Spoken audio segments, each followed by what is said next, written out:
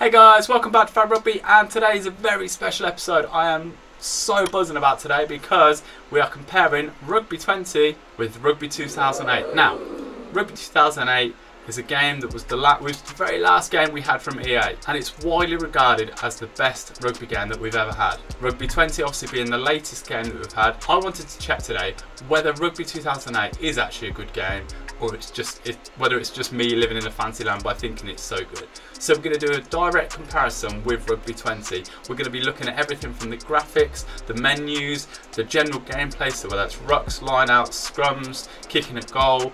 We'll directly compare the two and see whether there's been an improvement in rugby video games or actually it's a slide and it's got a lot worse in the 12 years since we had Rugby 2008. Let's get into it then guys, let's get really deep into it. We'll start with the menus, we'll have a look through the games, we'll finish up with a conclusion whether rugby games have got better or worse in the last 12 years. Let's go! So let's have a look into the menus and on the home page of the Rugby 08 you've got Rugby World Cup, you've got Challenge Mode, Game Mode, My Rugby and EA Sports Extras. Rugby 20 is bright and colourful and laid out, it's got training which Rugby 08 gets you to do straight away. They both have a create mode, now it's slightly different between the both of them. In Rugby 08 you create a player you can change them to make them look like you and then you add them to a roster. Whereas in Rugby 20 you're creating a squad. It's a bit like FIFA in the way that they've got cards and you can build up your squad and you can buy players etc etc. The one good thing about Rugby 08 is that you can customise a player, have him as your name and you can add rugby gloves. Oh yes, you can add rugby gloves, scrum caps, tape, the lot. Personally, I don't think there's a big clear winner on this one. Um, it's whatever takes your fancy.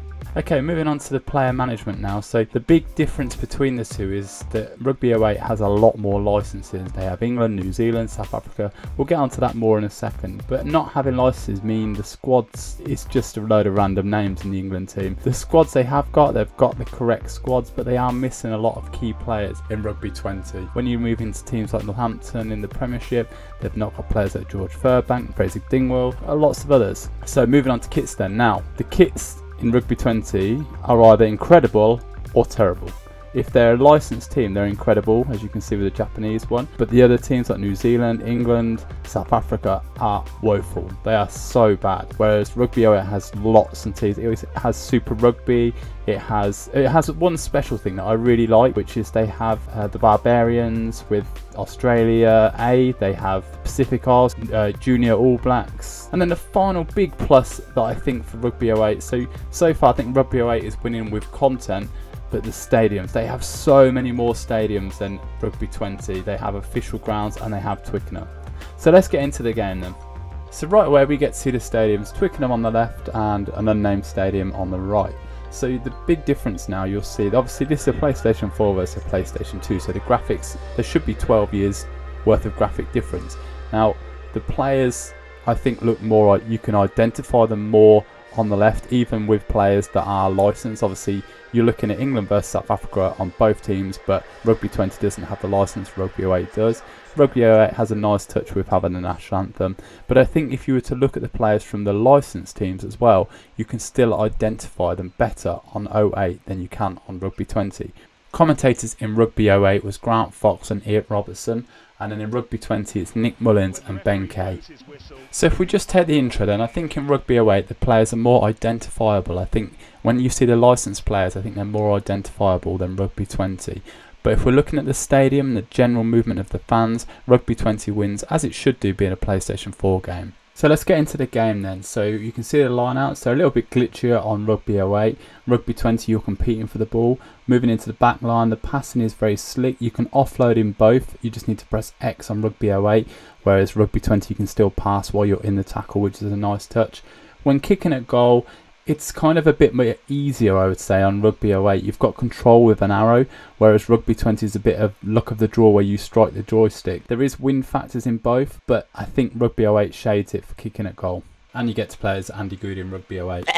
Okay, so moving on to scrums now, it's a little bit easier in Rugby 08. In Rugby 20, as you'll know from my online games, it's quite hard to actually win a scrum, especially in an online game. It's quite, quite complicated, you have to do multiple different things, whereas Rugby 08, you put the ball in and it's out. Looking at the players now, you can see Jason Robinson on the left and Dan Biggar on the right. The detail is obviously better in Rugby 20, and there's, but there's a lot more actual graphic content during the games in Rugby 08. There's fights, there's off the ball stuff.